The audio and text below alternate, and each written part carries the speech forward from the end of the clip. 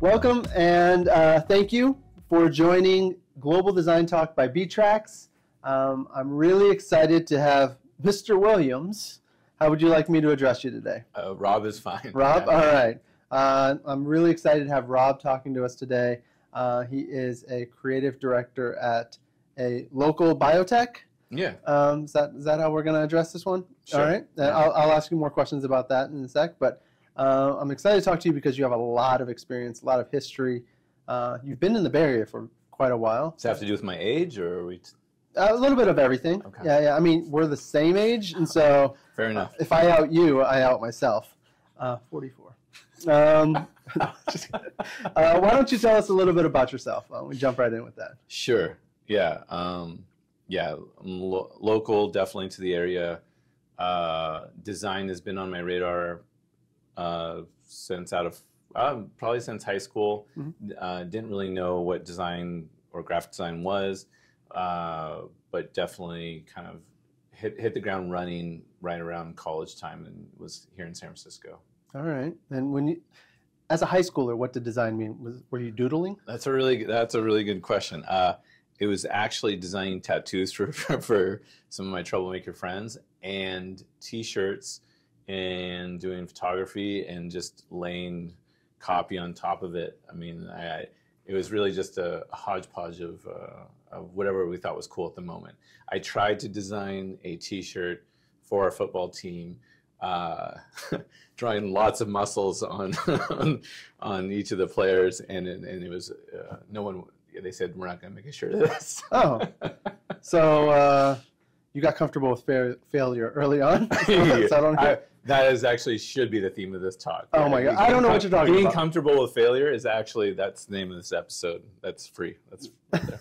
There we go. We'll dig a little bit deeper into that one in a bit. Um, cool. So, tell me a little bit about. So you you really got into it in college, you said, and Uh, yeah, that's when, yeah, mm, definitely. I didn't even know what it was, and the what lured me, to be really honest, was that uh, designers, or let's say creatives who understood computers, Mhm. were making money right out of high school, and that was attractive to me. So I was thinking, don't know what I want to be in my life, have no career aspirations. I definitely love art. I always identified as an artist, Mhm.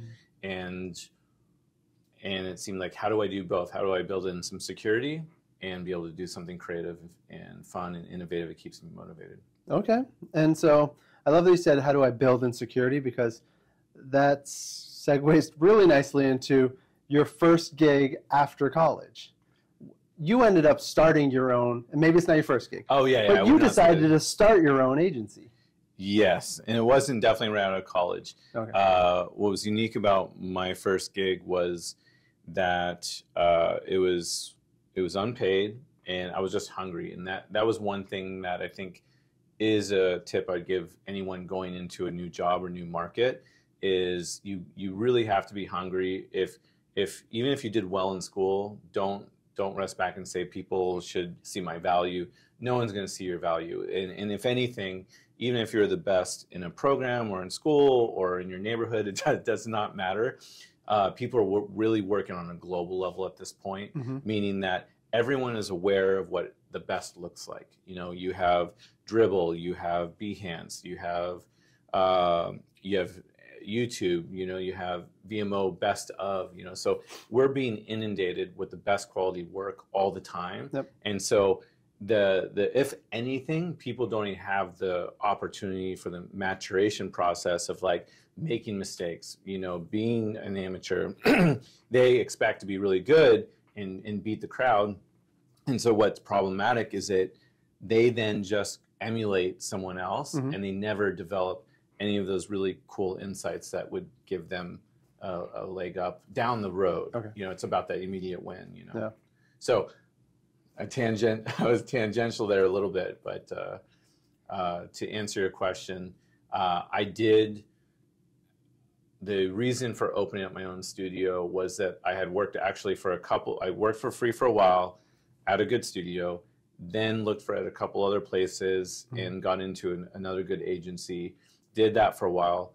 My goal was to, you know, how do I put this amount of effort and energy into another uh, job, whether you know they're making money off me? Yeah. How do I make? How do I put all this energy in, and then get returns on my investment? If I'm Mhm. going to be working, you know, 14 hour days, Yeah. how do I how do I leverage that? That was the idea, but the journey was much different after actually doing and opening my own business. Right. Well, and you, I mean, you stuck with it 15 years, I think you had yours? Uh, it was about 13 years. You, you're Okay. going on the wrong Wikipedia page, but yeah. I think it's your LinkedIn page. Uh, but, but that being said, I mean, I'm impressed with by looking at like your LinkedIn. You're atypical well, for I'm the only Bay Area. 30, so Yeah, there you go. you went to college at 12. Um, actually, what you said a second ago made me think. You talk about how everything is global from the get-go, right? Yeah. Like you're competing with yeah. a global uh, design population. How is that? Like, I I don't know if that was the case when you were in college as much. Definitely not. And I would only take it like revert a step further. Definitely back in the day, you were competing with your neighbors. You know, Mhm. you had your own insular little town.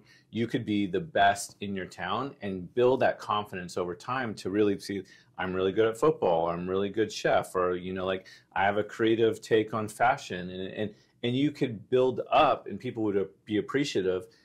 However, the next generation and this generation and even the past generation unfortunately is going to be holding themselves to an unrealistic standard that they have to be at this elite level. The person who is in switzerland in design or you know this person in japan who is just blowing up and saying that I, my art or design or fashion needs to look like theirs. Mhm. and it's just like they don't they can't see all the steps in between because the bar is so incredibly high.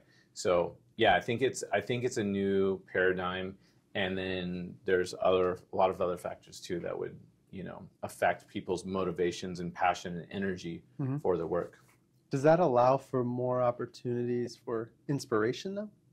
Right. oh absolutely and so you're also getting people uh, competing on a new level because they have access to what the best looks like Mhm. and also documentation of how someone got there you know and what what inspired them you know the access to information is incredible so for those individuals who are really hungry Mhm. for information and inspiration it's it's accessible Got it. Got it. And you know, you've since then also become an instructor or a teacher, a professor. Um, you you taught at your alma mater, alma mater, uh, the California College of Arts, but also you were a professor at Stanford. Um, and two very different types of schools, two different focuses, I guess, probably of the students you work with, right? Um, how, how, how did your teaching style differ, and how like how much education was needed in terms of like at what, what level were you starting with Mm. explaining design to, to the folks? Yeah, I've always been interested in uh, teaching. Uh, my parents were both teachers. Uh, the difference is uh, the difference can be seen in a in a in e- each individual class. Mhm. You always have a spectrum of uh, students who are highly motivated, students who are not motivated, motivated, students who maybe are more aligned to your uh, your history or like you know uh, culture, background, whatever, and then the ones who are most different. Mhm. Uh, so I would say that there's a, a kind of a micro ecosystem even in an individual class. Comparing the schools uh, would be uh, totally different because you know at at uh, the art school uh, CCA that was a six month class and the Stanford classes were one day workshops and so that ranged quite a bit where it would be specialty about uh, stanford would be special how to how to specialize in a specific tool. So at stanford it'd be one day workshops Yep. where the students would learn you know how can i make the most of the projects that i need to execute on in a one day period what are the like the top five most important tools Mhm. so it, that would be within each adobe software program it could be indesign illustrator photoshop but then also I, uh, because those classes were so s- successful Mm-hmm. that I started doing photography classes and other Mm. classes. Uh, the the general theme of all those classes was how do you maximize the quality of content uh, in the shortest amount of period of time? So, and luckily, since I had been, uh, uh, you know, quite versed in all of the Adobe programs and also had to hustle with photography Mm-hmm. uh, and just even design my design classes at uh, my alma mater. Mhm. I had quite a bit of experience to be able to kind of innovate and be quick with those programs. Got it. What do you miss most? I I don't believe you're teaching right now. I'm not teaching anymore. Um, the I don't. I okay. The the thing I miss about teaching is basically the novelty and innovation of new ideas Mhm. uh, from young uh, folks. They that's something that's really uh, I think is really important to bring into all of our lives, Yeah. and I would like to find an outlet to continue to do that. Got it. you have you have the the experience of having taught so like i want you to go a little bit more introspective and be like what what advice would you give to your younger self Yeah. uh, whether we're talking about when you were just getting into the the space or even honestly younger could be five years ago Yeah, uh, I actually really appreciate that question. Uh, the I would say this for my younger self, and and anyone who is looking for answers. So if, you know, if anyone comes across this, you know, video recording, I would say really the hardest thing from my experience is is having that belief that things are going to work out it definitely seems like many challenges you know come your way and there's hurdles just one after another Mhm. especially for those who are seeking information Mhm. and want to do well and are looking for that answer it's really about being kind to yourself and and hanging in there and allowing criticism allowing critique allowing uh, uh, opinions that that can form a leveling up of your work or your uh, you know your your perspective uh, of just allow yourself to you know hold the emotions see what the, where the opportunities are Mhm. and then and then push forward i think i think that's really important because when i was talking about that global aspect of like you're always comparing yourself to the best of, of everyone the Yeah. best studios the, the best designers you know the best musicians whatever it is you're doing it's really hard not to to to aspire to that but then try to figure out how do you even get to that point. Yeah. uh, that isn't the right question. Uh, you know it's great to be inspired. It's great to have a trajectory. Yep. but then you need to immediately get back into your own body and say where i'm at right right now? What inspires me? What what gives me energy? Mm-hmm. and and I think that energy component is really important uh, because it's going to be the roadmap in which you find what's going to sustain your work and also give you a indication of where you should be focused on. So, you know, if if you want to go, if you love food and you want to go into food design, you Mhm. know, whatever that means, being a chef or being, you know, working on menus or w- restaurant interiors. Mhm. If you have the inclination, you want to go there, just know that you're also going to be competing with others Right. who are also wanting to specialize in that space. Mhm. So you're going to have to often work harder than everyone else around you. And that means what is going to sustain the energy? When do you have enough belief in yourself that you're going to put, do the all nighters, that you're going to go the extra mile, that you're going to push back against someone who's saying, we don't want to do that, or that's not the right direction? When are you going to be, you know, speak up for yourself? You really have to identify what energizes you and stay in that space because there's a thousand and one or a million and one reasons Mhm. to shut you down and to, to stop your trajectory. And if you want to be competitive and you want to be a leader and you want to get ahead in that space, then you need to be energized and you need to be in that track, okay so B track, if you will. Oh, the btrax. you heard it here. Um, thank you for that. Was that was good. You're the first to do that. Um, so, compared to what you used to do, like running your own studio, and, and now, what at that time and now, what gave you energy? What part of the job, like, and and because part, your role now is much different, and you can explain that too. Yeah, It's much different than when you were running your own studio. Yeah, uh, I, yeah. So running my own studio, what gave me energy was to define where I wanted to go on my own terms, and if I felt that there was a thread worth pulling, or you know, a client that I really wanted, I can investigate that, and that would energize me to to to to try something new, to really experiment and to innovate and be also differentiated. Mhm. These are all things that I know are very valuable, and the people I respected, the designers I respected, had all done that. Uh, so I was following a roadmap of sorts. Yeah. So uh, I actually, I, I love the question because I never wanted to work in a corporate environment. Okay. It was creative killer, uh, not much for, uh, space for innovation. People are not going to listen to my ideas. And uh, that might be true in some places, but where I'm at now is not the case. And it's actually, uh, I, I've, I've had in, uh, uh, plenty of opportunities to really innovate and to be supported. And it's really a testament to the good people that I work with. They, they, you know, they, when they see someone who's passionate and wants to innovate, there is a, uh, a environment that caters to innovation Mhm. and trying and being willing to fail. Mhm. Uh, I think that's critical.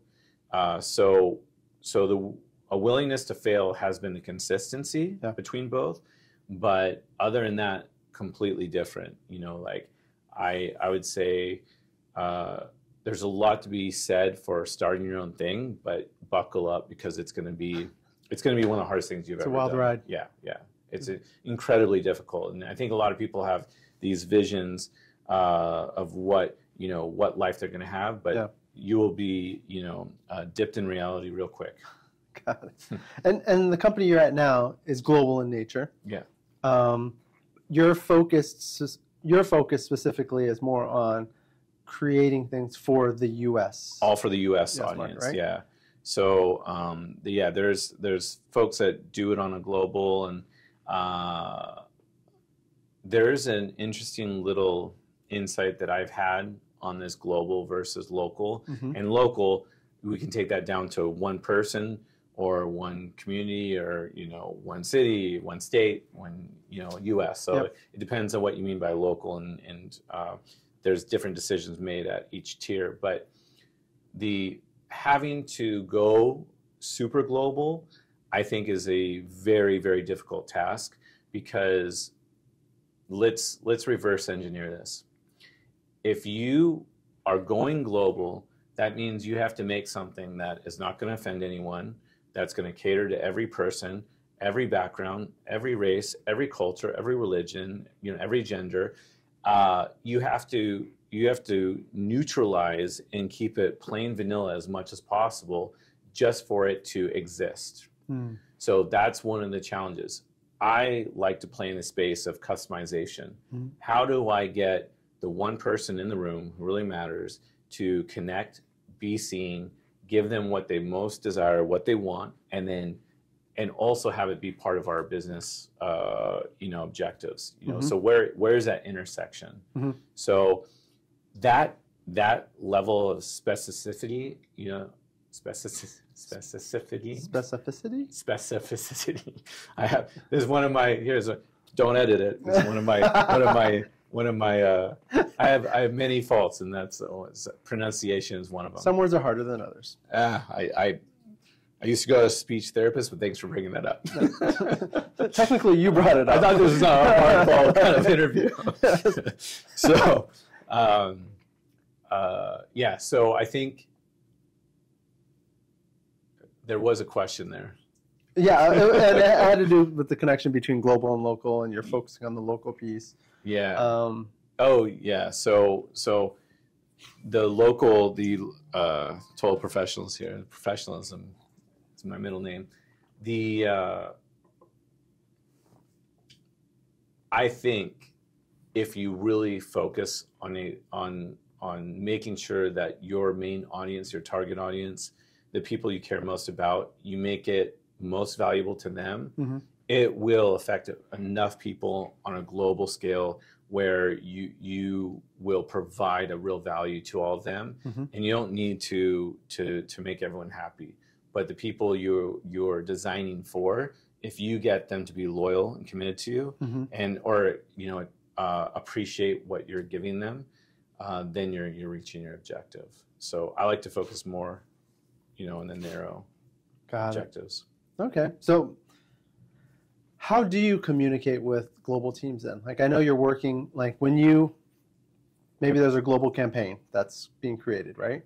And then they work with you to figure out how do you take that global campaign and make it localized or relevant for maybe, and, and US market's tough because I think US is, is very much uh, pockets depending on kind of like maybe very the product, much, right? Very much so, yeah. you- you're not you're not you're not creating something for everybody in the U.S. even necessarily, right? There's maybe it's a different uh, age range, you know. So you have to think through. Well, if somebody's 65 and seeing this collateral, um, Yeah. but how does that work for like let's say it's a 65 year old white male? Yeah. Um, I so what you're t- sort of talking about is like personas and Yeah. and having a a schematic based upon a certain audience type, what's going to resonate with them.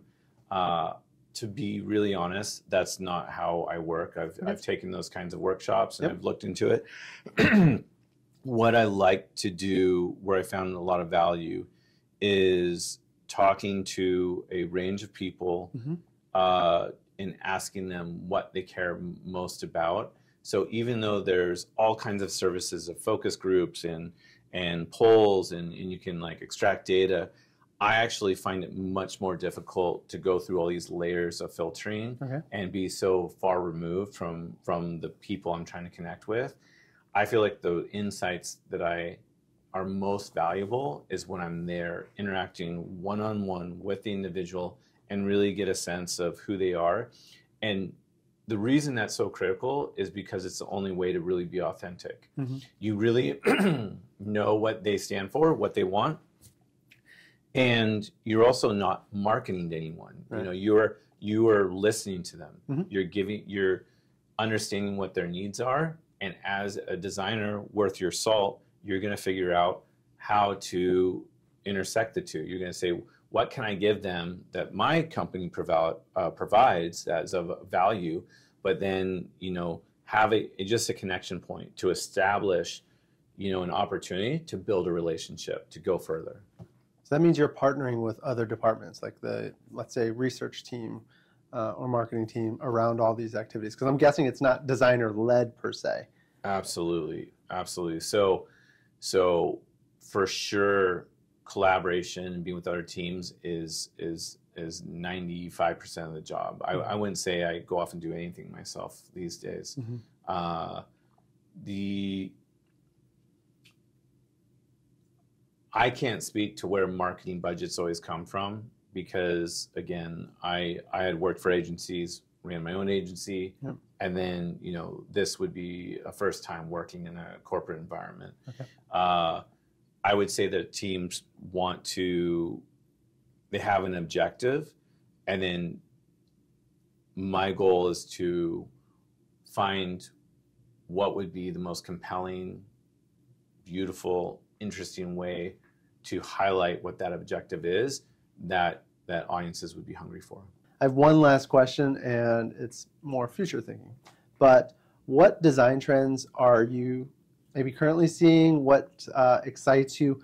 And honestly, what scares you, maybe from a, Mm. even from a job security standpoint? Yeah.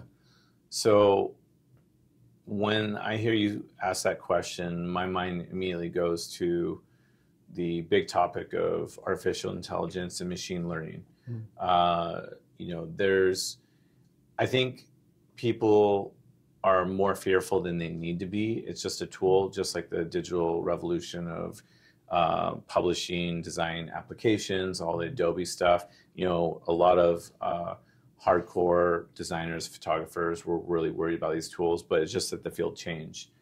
However, I think because I'm in the in the kind of uh, generational group where I was pre, you know, uh, pre a lot of these tools or you know how common it was how pervasive it was Mhm. and also the internet and machine learning that i can see what potentially is going to be lost and what i mean by that is a lot of young folks get dependent upon what is a quick answer how do i just go straight you know straight to what what is the answer tell me the answers Mhm. so I actually printed out something in case you asked something about machine learning. Okay. So, because I know people are trying to, you know, how do you how do you get into a market? How do you get that job you you you uh, you know want most? Yeah. I want the answers, and I want them now. I want them fast. So, here I uh, I printed out the what are the top ten most important attributes a new graphic designer entering the job market should you know should have. Okay. So technical proficiency, uh, creativity, uh, attention to detail, problem solving, communication skills, adaptability, time management, understanding of branding, receptive to feedback, continual learning and growth mindset. So, you know, it, it will give you the list and it'll give you a little bit of a definition. Mhm. But like, let's go to creativity. It says the ability to think outside the box, Yep. being fresh, unique perspectives on design projects, the capacity to turn abstract ideas into tangible visual solutions. It sounds good. It's a thorough list. I think it ca- captures the main categories. Okay. Everyone's going to be giving the same answer. So on the resume, it's all going to be the you know the the same. And so not that they're wrong, they're on base. They actually give any individual a roadmap saying, oh, these are the important categories. Yep. But unless you go deeper and really go through those lived experiences, the life experiences, Yep. you're not going to have context. Everyone's going to be coming with the same list, right? And so you want to come in with, I experienced this with this last project. Yep. You know, I, you know, I, I was working on this campaign, this nonprofit, and I came up with some great solutions. So Mhm. it's the people that go deeper that are going to have that originality and differentiation Yep. from everyone else. Well, what I love about that list is I would say 80% of it doesn't matter if you're going if you're a designer. It's just Mm. good.